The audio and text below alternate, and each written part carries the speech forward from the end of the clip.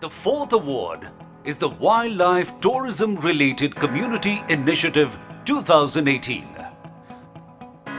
Here, the judges are looking for nature based projects and organizations owned by or focused on communities with a strong tourism connection.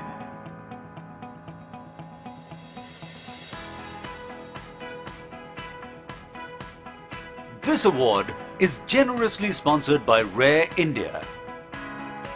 And the shortlist is Tora Eco Resort and Life Experience Center, Sundarbans. Camp Hornbill, Corbett, Uttarakhand. Jatayu Vulture Restaurant, Chitwan, Nepal. And TPSS, Sikkim.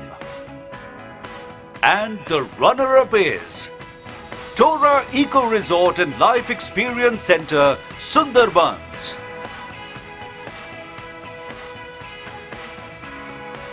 And the winner is Jatayu Vulture Restaurant, Chitwan, Nepal.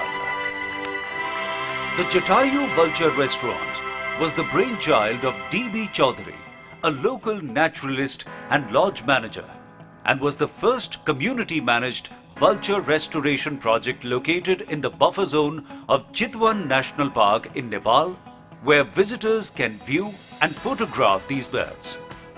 The restaurant provides safe food, not contaminated with deadly diclofenac for the wild vulture populations.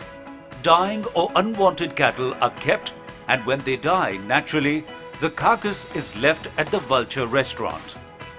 This simple program saved eight endangered species of vultures since 2006 with a 150% increase in the vulture population in the buffer zone and nesting increased by over 200%. Six other such restaurants have now come up in Nepal and Pakistan. Can this project be replicated across South Asia to restore its vulture populations? We welcome D.B. Chaudhary to receive this award as the worthy winner.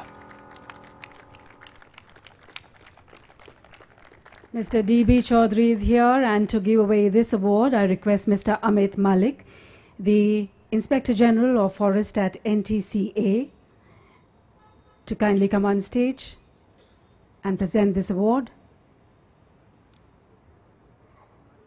I request uh, Julian Matthews to kindly do the honors as we don't see Mr. Malik in the audience.